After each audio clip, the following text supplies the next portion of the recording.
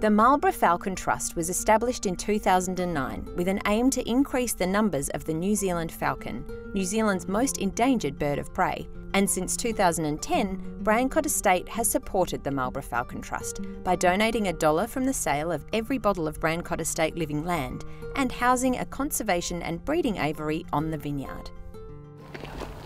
Here we go. So Fern is your ambassador. So yes, this is Fern. Hi. And you're Say Lizzie. hello, and I'm Lizzie. yeah. Auntie Lizzie. Auntie Lizzie. So I've been working with the trust for three years, and um, yeah, Fern is a, a massive part of what we do at the Marlborough Yeah. Falcon Trust. And so Yeah. Fern's eight. So Fern is eight. She's a female. Mm-hmm. Um, she they normally live um, in the wild to about maybe nine or ten, but in captivity about 18, 19. So Oh. Yeah, so she's lucky. yeah. And Fern go. goes around to schools and things. She does. So we have a massive um, education program, which um, Diana and I both do.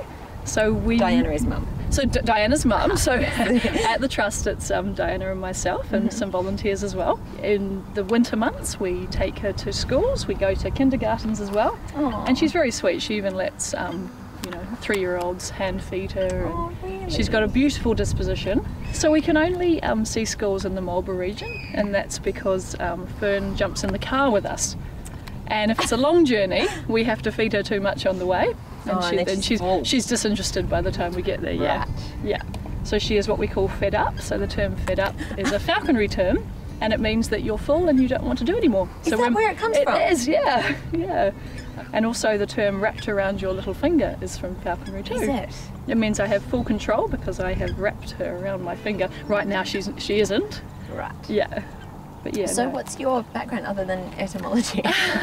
No, I'm actually a primary school teacher, so Oh, really? I know I've just landed myself a wonderful job. Um, but no, Is I that a falconry term as well? yeah, no, I've got the job because I do the school visits. Oh, Yeah. cool. But Diana has got a massive background in birds. Mm-hmm. She um, she does all the rehabbing for um, the Marlborough Nelson region. Yeah, so Everybody the brings birds to her. Is they rehabilitate and they breed? We do. So a big part of what we do is rehabilitation. Majority of our birds, um, they can't be released into the wild. Um, so we have a lot of eye injuries coming to us. So they can, these birds can get up to 180 kilometres an hour. So there's, with that comes um, Wow. injuries, of course. So when they're darting, ow, excuse me. So when they're darting through fences, or you know, um, often twigs will come at them, and um, and they can, uh, yeah, they can they can suffer eye injuries. We also have birds with, um, we've got a bird with one wing up the top there. So we have five um, breeding pairs. And most of the time, we, we release about 12 to 15 um, chicks into the wild each season. Sometimes they even have double clutches, so we're pretty lucky then as well. What's a double Oh, sorry, a double clutch is where. So they'll lay they'll lay three to four eggs, um, and sometimes that even happens twice in. Oh, one right. season. So yeah, so we're pretty lucky Lots with of babies. Hmm. But there's only about six thousand falcon left in New Zealand. So if you compare that to um, say the kiwi, I think there's about sixty-eight thousand. But you know they're quite a Oh, rare wow. bird, and they're the bird on our twenty dollar note. Yeah. So they're a bit of a national treasure. no, Fern, Fern does exactly what she wants, Mm-hmm. and they say don't work with birds and children, and we do. And you we do, both. of them. Yeah. It's very brave. yeah. Brancott have been um, they've been amazing to the Falcon Trust. They're our major sponsor, and uh, oh, stay right there, thank you. um, and it just means that you get to um, come down and meet one of these birds face to face. A lot of people obviously don't even see them in the wild because they're so rare.